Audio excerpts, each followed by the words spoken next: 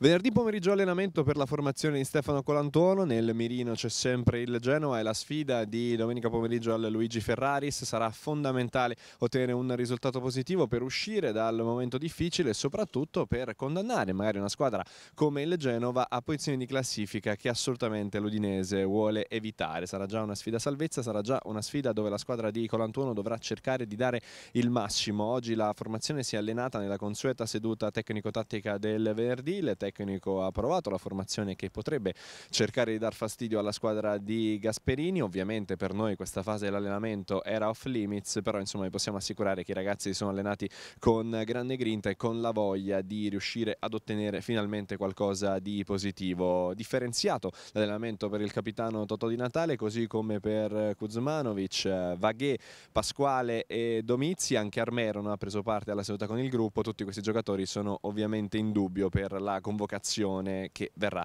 diramata nella giornata di domani. Un piccolo sorriso durante questa sessione di allenamento ci hanno regalato i portieri che si sono sfidati a vicenda, a una uh, sessione di allenamento molto simpatica per loro, molto carica, insomma hanno grande voglia di anche loro di riuscire a dimostrare di essere ancora assolutamente carichi per questa sfida. In particolare ci ha sorpreso Alex Brunner, il collaboratore dei preparatori dei portieri che ha dimostrato di avere un destro che secondo me potrebbe addirittura giocare in massima serie. Ma al di là di questo piccolo aspetto, insomma, la squadra è davvero molto carica e motivata per far bene, vuole ottenere risultato subito con il Genoa e regalare una gioia ai propri tifosi.